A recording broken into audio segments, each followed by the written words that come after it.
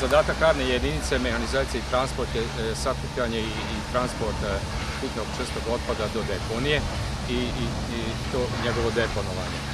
Svakodnevno se vrši e, transport sa devet, smećara i sedam autopodizača. E, prosječni e, tovar, znači prosječni tovar na auto smeća je oko 6 tona, to dođe ukupno svakodnevno oko 130 tona smeća na gradsku deponiju.